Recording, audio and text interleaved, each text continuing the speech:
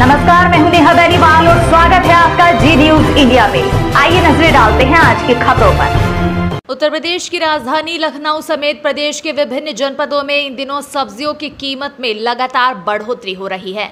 धनिया की पत्ती का दाम प्रदेश के कई जनपदों में सौ रुपये प्रति किलो के आसपास है।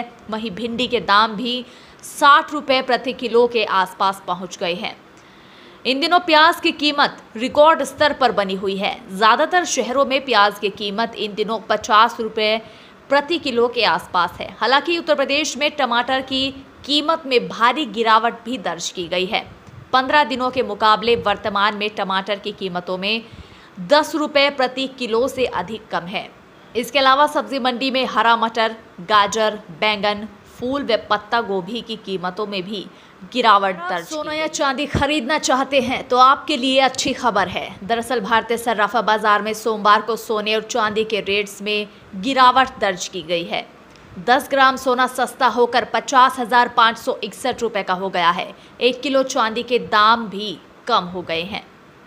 और अब यह छप्पन हज़ार सात सौ साठ रुपये में बिक रही है। दिल्ली सर्राफा बाज़ार में सोमवार को सोने के दाम एक सौ चौदह रुपये प्रति 10 ग्राम की कमी के साथ पचास हज़ार पाँच सौ इकसठ रुपये प्रति 10 ग्राम पर बंद हुए। पिछले कारोबारी सत्र के दौरान दिल्ली सर्राफा बाज़ार में सोना पचास हज़ार छः सौ पिछहत्तर रुपये प्रति 10 ग्राम पर बंद हुआ था। वहीं चांदी के दाम एक सौ छत्तीस रुपये की गिरावट के बाद छप्पन हज़ार सात सौ साठ रुपये प्रति किलोग्राम पर बंद हुए।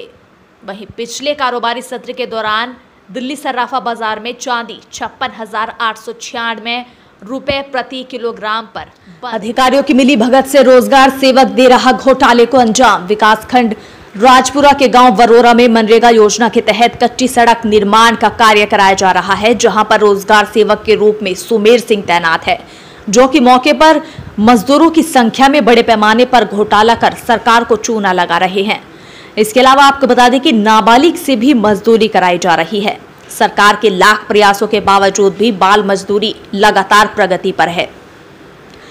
बच्चों का समुचित विकास, सोच विकसित करने के लिए बचपन जीना बहुत ज़रूरी है। ऐसे में बच्चों के बचपन का छिन जाना किसी अभिशाप से कम नहीं। बाल मजदूरी वैसे तो मजबूरी में ही की जाती है, लेकिन सरकार के द्वारा बाल मजदूरी को कानूनन जुर्म घोषित किया गया है। इसके बावजूद भी सरकार को ठेंगा दिखाकर वरोरा के रोज़गार सेवक के द्वारा बाल मजदूर नीरज पुत्र अजयवीर से अधिकारियों को ठेंगा दिखाकर कार्य कराया जा रहा है। जनपद बलिया के सनबीम स्कूल से निशुल्क बस, मेडिकल व्यवस्था व भोजन के साथ बैजनाथ धाम के लिए निकला नंदी बम सेवा का जत्था। चेयरमैन संजय पांडे ने बताया कि हर साल की भांति इस साल भी हज़ारों की संख्या में श्रद्धालु बैजनाथ धाम के दर्शन के लिए आए हुए हैं, जिसके लिए निशुल्क खाने पीने की व्यवस्था, मेडिकल व्यवस्था, वाहन व्यवस्था की गई है। स्कूल परिसर में भक्ति की धारा प्रभावित। स्कूल परिसर में साधना गुप्ता के निधन पर श्रद्धांजलि अर्पित करने पहुँचे उत्तर प्रदेश के मुख्यमंत्री योगी आदित्यनाथ। बता दें कि मुलायम सिंह यादव के आवास पर मुख्यमंत्री योगी आदित्यनाथ पहुँचे, जहाँ उन्होंने शोक संवेदना व्यक्त करते हुए श्रद्धा सुमन अर्पित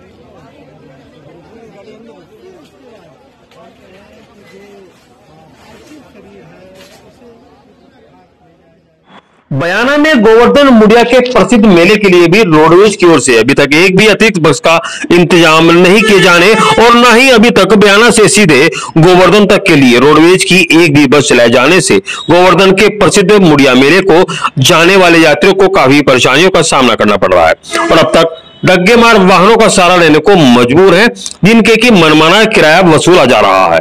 यही यात्री धक्के खाने को मजबूर हैं। यहाँ के रोडवेज़ बस स्टैंड प्रभारी ईश्वर सिंह ने बताया कि रोडवेज़ की ओर से गोवर्धन के लिए एक भी बस नहीं चलाई गई। वही प्रसिद्ध मेले के अवसर पर रोडवेज़ बसों के अभाव में अब डग्गेमार वाहन संचालकों की चांदी हो रही है। वहीं यात्रियों को परेशानी भी हो रही है। पत्थर गढ़ाई एवं निर्माण मजदूर संघ सिरोही ने जिला कलेक्टर को मजदूरों की समस्याओं के निस्तारण के लिए एक ज्ञापन सौंपा। भारतीय मजदूर संघ के मीडिया प्रभारी गोपाल सिंह राव ने बताया कि संगठन के शिष्टमंडल ने सिलिकोसिस बीमारी से मृत्यु के बाद मिलने वाली सहायता राशि के भुगतान की मांग की। राव ने बताया कि विगत एक से दो वर्षों में सिलिकोसिस जैसी प्राण घातक बीमारी के कारण जान गंवाने वाले मजदूरों को आज तक सहायता राशि नहीं मिल पाई है, जिस कारण उनके बच्चों व परिजनों के पालन पोषण में मुश्किलें बढ़ती जा रही हैं। जिन मजदूरों को किसी कारणवश आज तक सहायता नहीं मिल पाई, उनको सहायता राशि दिलाने की पूरी कोशिश की जा श्री सुधा सागर जी महाराज आज सुबह सात बजे मध्य प्रदेश की सीमा से सटे उत्तर प्रदेश के बाला बेहट पहुँचे जहाँ उनकी आगवानी जैन समाज के साथ ग्राम प्रधान दौलतराम साहू बिरधा ब्लॉक प्रमुख मोहित निरंजन पूर्व ब्लॉक प्रमुख जयराम सिंह थाना प्रभारी प्रमोद कुमार आदि लोग करने पहुँचे। बता दें कि गाजे बाजों के साथ महाराज जी की आगवानी की गई। इससे पूर्व सुधा सागर जी महाराज ने कहा कि वह उन्नीस सौ छियासी में गुरुवर श्री विद्यासागर जी महाराज के साथ प्रथम बार बाला बेहट पधारे थे। बयाना के ब्लॉक सीएमएचओ कार्यालय के सभागार में आज विश्व जनसंख्या दिवस के अवसर पर स्वास्थ्य कर्मियों की मासिक बैठक का आयोजन प्रभारी उपखंड अधिकारी अमित शर्मा की अध्यक्षता में हुआ, जिसमें block CMHO doctor Dharmendra Singh व अन्य चिकित्सा अधिकारी, मेल नर्स व महिला स्वास्थ्य कर्मी आदि भी उपस्थित रहे। कार्यक्रम की अध्यक्षता करते हुए प्रभारी उपखंड अधिकारी ने कहा कि तेज़ी से बढ़ती जनसंख्या भी चिंता का विषय है, जिसके प्रभावी नियंत्रण के लिए हम सभी को मिलजुल कर सरकारी कार्यक्रमों को लागू करने और उन्हें प्रभावी ढंग से सफल बनाने के प्रयास करने होंगे। ब्लॉक हेल्थ सुपरवाइजर मान सिंह मीणा ने बताया कि इस अवसर पर परिवार नियोजन कार्यक्रम व कोविड 19 नेशन आदि कार्यक्रमों में अच्छा काम करने वाले स्वास्थ्य कर्मियों को व पुरुष नसबंदी कराने वाले दो जनों को भी दो लोगों को भी उपहार भेंट कर सम्मानित किया गया। इस अवसर पर block CMHO doctor Dharmendra Singh ने कहा कि उपस्थित सभी स्वास्थ्य कर्मियों व स्वास्थ्य केंद्र प्रभारियों को, व स्वास्थ्य केंद्र प्रभारियों को सरकारी योजनाओं की जानकारी देते हुए उनकी समीक्षा की।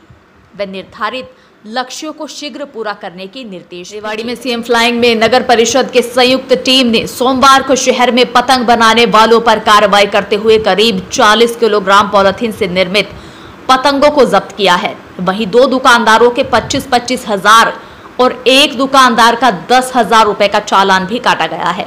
जैसे ही सीएम फ्लाइंग और नगर परिषद की टीम बाज़ार पहुँची तो बाज़ार में हड़कंप मच गया और पतंग विक्रेता अपनी दुकानों को बंद कर फरार हो गए।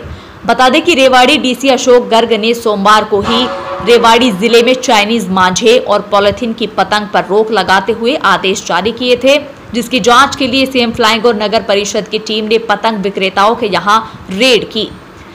नगर परिषद की टीम को यहाँ पर चाइनीज़ मांझा तो नहीं मिला, लेकिन पॉलिथीन से बनी हुई पतंग करीब 40 किलोग्राम मिली, जिनको जब्त कर मौके पर ही चालान काटे गए। और आज के इस बुलेटिन में फ़िलहाल इतना ही। कल फिर हाजिर होंगे कुछ और नई खबरों के साथ। तब तक के लिए